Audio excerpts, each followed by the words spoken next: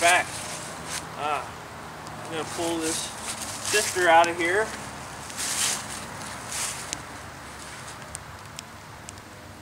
This ought to scent proof it, dyed it. It's ready for fox trapping. I'll keep that over here. When I'm ready to hang up the traps, I'll take it over there and let it air out for a long time. What I'm going to show you is I'm going to throw this tarp that I sewed eyelets on. I sewed the eyelets in the corners and it's just like a painter's tarp and I already put one coat of dye on it which has a nice color already but it'll be good to have two coats to look nice and then I'm going to waterproof it. I sewed an eyelet one in each corner and then in the middle so I'll just uh,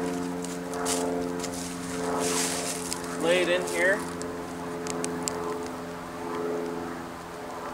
let it get that oil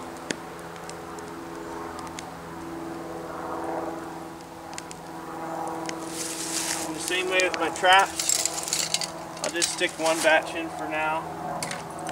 But I, I have a whole bunch of traps I gotta do today.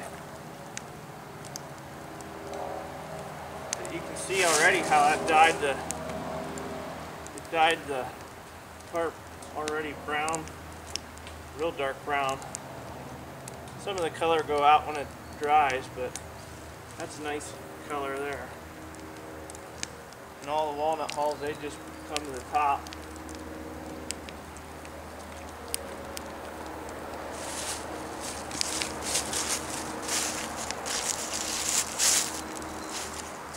Maybe you put some of your tools in.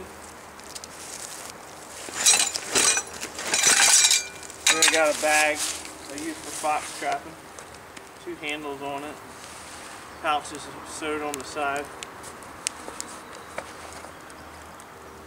That I bought off of two professional fox trappers, the Leggetts.